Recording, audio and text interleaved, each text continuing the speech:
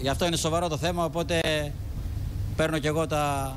Έβαλα το, το σοβαρό πρόσωπο σήμερα. Έβαλες Με την το έννοια σοβαρό. ότι Για λέγε, λοιπόν, τι γίνεται 30 τώρα εκεί. βουλευτές την υπογράφουν, όσοι χρειάζονταν δηλαδή, και ζητάνε την διενέργεια προκαταρκτικής εξέτασης κατά το πρώην αναπληρωτή Υπουργού Δικαιοσύνης Δημήτρη Παπαγγελόπουλου για τη διερεύνηση τυχών αδικημάτων που έχουν τελεστεί κατά την άσκηση των καθηκόντων. Δηλαδή, πάμε το άρθρο 86. Μιλάμε για τέσσερα εντός αγωγικών αδικήματα. Πρόσκληση, πρόκληση μάλλον και προσφορά για την τέλεση εγκλήματος.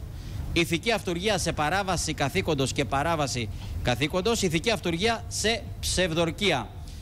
Ε, το ξέχασα. Ηθική αυτουργία σε ψευδορκία. Άρα λοιπόν. Πες και τα άλλη προ- μία, βρε Λάμπρο, πες τα άλλη μία, γιατί φτάσαμε τώρα στη στιγμή Λοιπόν, την κατάλληλη. ηθική, να δούμε- ηθική αυτουργία στο αδίκημα της κατάχρησης εξουσίας, Να. στη φυσική αυτουργία και άμεση συνέργεια δικαστικών λειτουργών. Να.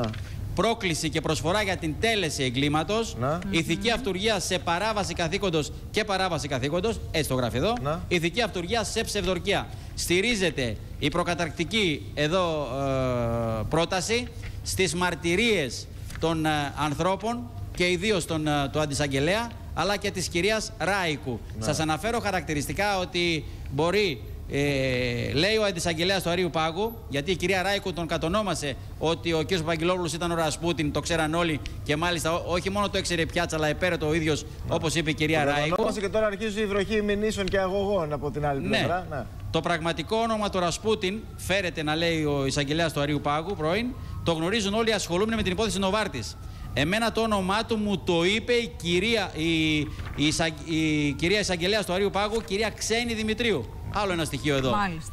Και μετά έχουμε και την κυρία Ράικου που λέει όλοι μιλούσαν για τον Ρασπούτιν, το ήξερε η κυρία Κωνσταντοπούλου, ε, το ήξερε ο Μιλτιάδης Λαμπρό, Βαρβισιώτης, το ξέραν για να όλοι. το κλείσουμε τώρα λίγο αυτό, γιατί σε λίγο θα έχουμε και τον κύριο Μάριο Σαλμά στο πλατό, οπότε έχει ενδιαφέρον. Πες Έχει μας λίγο εγγραφεί τη στην ημερήσια διαδικασία. διάταξη. Έχει εγγραφεί στην ημερήσια διάταξη.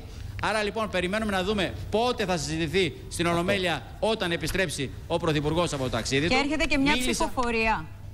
Μίλησα πριν από μισή ώρα πριν κατατεθεί με τον Δημήτρη Παγγελόπουλου. Μου, μου είπε χαρακτηριστικά ότι πρέπει να δω πρώτα την πρόταση, τι αναφέρει και μετά θα τοποθετηθώ. Αυτά ήταν τα λόγια που μου είπε ο πρώην αναπληρωτής δικαιοσύνης Δημήτρης Παπαγγελόπουλος. Τώρα θα έχουμε ψηφοφορία, έτσι θα κλείσει.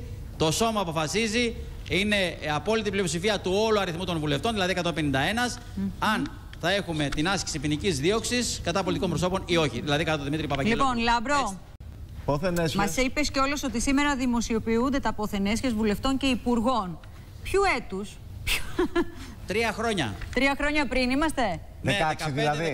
16, 17. Μάλιστα. Α, Ε, καταλαβαίνετε. τρία θα- χρόνια. καθίστε